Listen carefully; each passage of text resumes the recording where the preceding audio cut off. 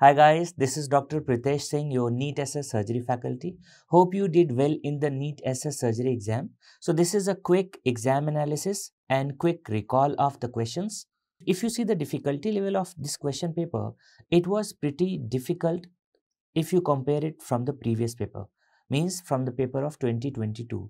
It was pretty difficult, but if you see the paper per se, the difficulty level was moderate and the paper was based not on a single textbook.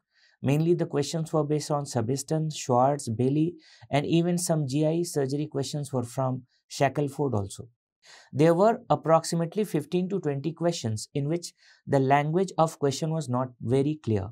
It means what examiner wanted to know it was not very clear and even options were very ambiguous only 15 to 20 questions were there like this rest of the paper was pretty okay so if you see the git in git there was one question related to transhiatal esophagectomy it was related to compli complications there was one question related to synchronous colon cancer in, in which there was one malignancy in rectum also lumbar hernia gerd gist ingest, benign lesion criteria was asked there was one question related to mesenteric cyst in which the wall was thickened and management was asked. Description of peritonitis was given in one question. The mutation was asked for hereditary gastric cancer. There was one description of a patient of ulcerative colitis in which there were multiple strictures involving both intrahepatic as well as extrahepatic bile duct. So obviously it is ulcerative colitis with primary sclerosing cholangitis. If a patient is having ulcerative colitis with severe dysplasia, what should be done? So it's an indication for surgery. There was an image of Roux-en-Y gastric bypass. One question was related to cirrhosis. There was one question related to sessile serrated adenoma pathway.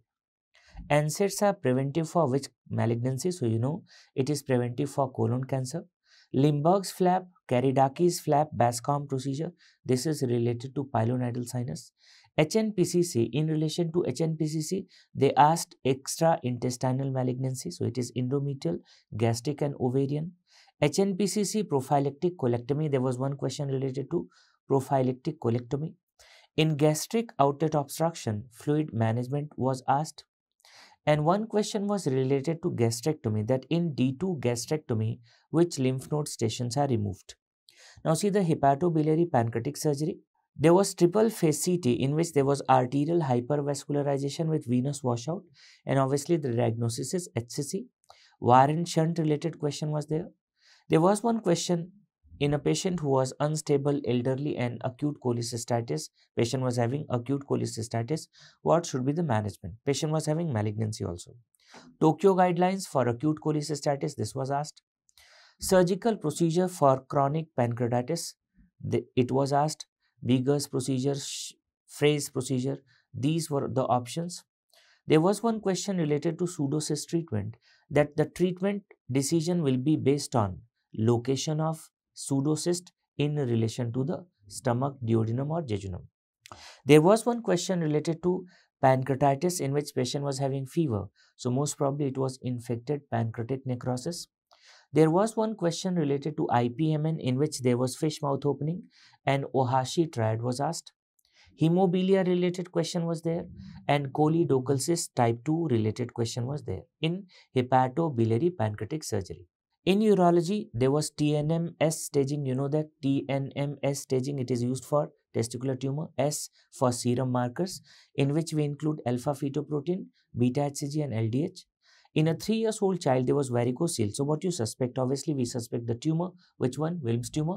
Blue dot sign, testicular appendages torsion, torsion of testicular appendages.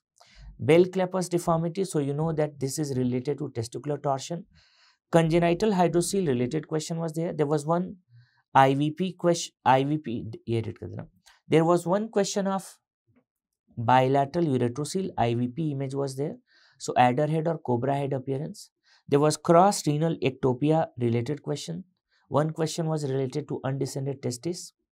Patient was having recurrent infections after Anderson-Hynes pyeloplasty. So one question was related to Anderson-Hynes pyeloplasty. And if a patient is having metastatic prostatic cancer, what should be used in the management? Pretty good number of questions were there from surgical oncology also. Paraneoplastic syndrome related to bronchogenic carcinoma was asked. Which dye is used in sentinel lymph node biopsy? There was one question related to breast cancer in pregnancy.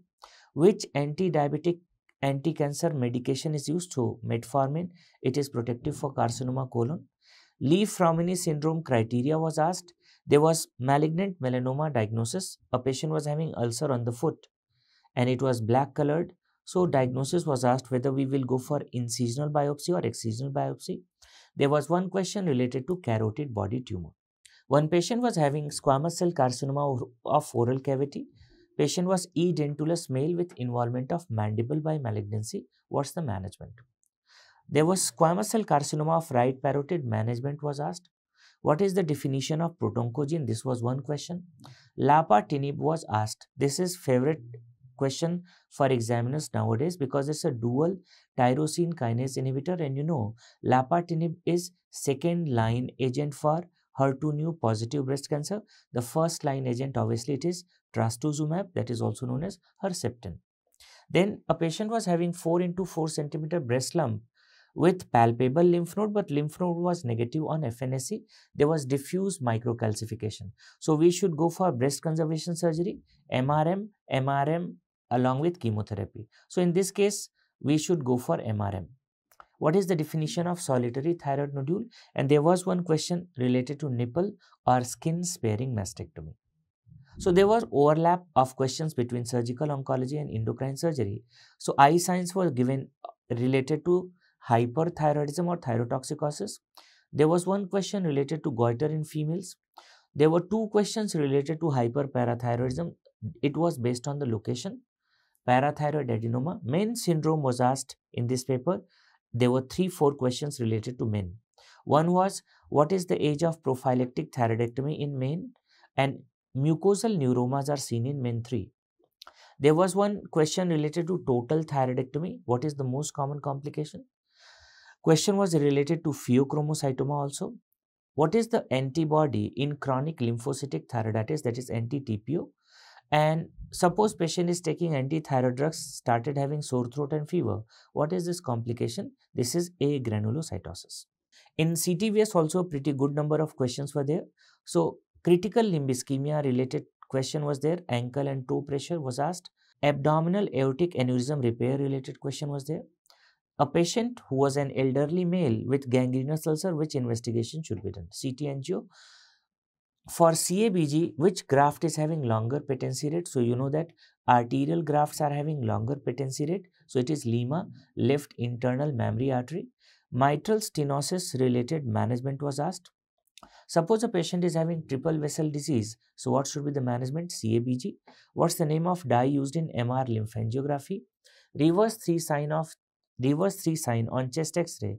It is seen in coarctation of aorta and if it is seen on barium study, it is seen in reverse sign of Frostberg. It is seen in carcinoma head of pancreas. Why right lung abscess is more common? Because it's more in line with trachea. And varicose vein management related question was asked in which we go for radiofrequency ablation, endovenous laser ablation and you know that nowadays endothermal ablation is gold standard. In pediatric surgery, there were there were questions related to Hirschsprung's disease. In pediatric surgery, there were questions related to Hirschsprung's disease. Ladd's procedure, what should be the location of small bowel and large bowel? Duodenal atresia related question was there. Double bubble appearance. Annular pancreas related question. Management. So in duodenal atresia, you know that we go for duodeno duodenostomy. What is the management of umbilical hernia in a 10 years old child? Biliary atresia related question. And if a patient is having sternocleidomastoid tumor, what's the management? Usually we go for physiotherapy. The questions which are asked in neurosurgery, it was related to spinal dysraphism, CSF leak. Patient, we have to rule out whether SDH or patient is suffering from subarachnoid hemorrhage or EDH. Patient is having gaze paresis. So one question was related to gaze paresis. What should be the management of a tumor if a patient is having tumor in pineal gland? So pineal gland tumor management and genetic mutation was asked related to pilocytic astrocytoma in neurosurgery. If you see plastic surgery, there was one question related to facial malformation. Only one side image was given, not the face was not properly visible. Breast flap related question was there. Skin grafting related question was there. Imbibition, inosculation, revascularization. A question was related to this. And one question was related to split thickness and full thickness skin grafting. Embryology of cleft lip was asked that how lip develops. Post free flap surgery related question was there. And one question was related to Rubens flap that it is based on which artery? Deep circumflex iliac artery. Burn management in children was asked and there was one question related to iliac crest graft. Pretty good number of questions were there from trauma. There was one question related to gunshot wound, needle insertion according to latest guidelines in tension pneumothorax that is fifth intercostal space in anterior axillary line. SOFA score was asked.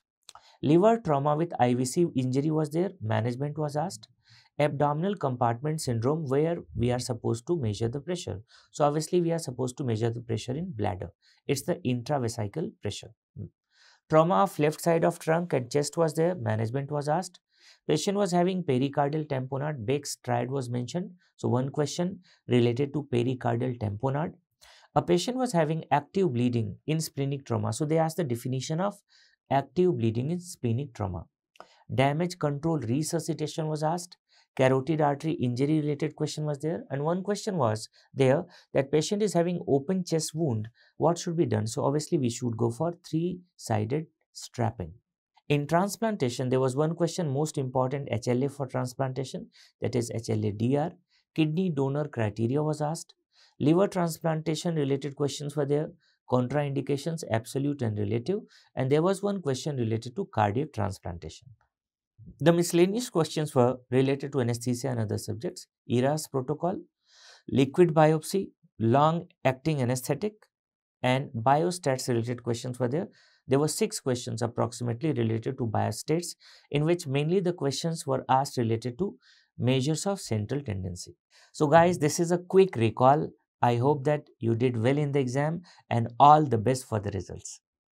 Subscribe and press the bell icon so you never miss an update from PrepLadder.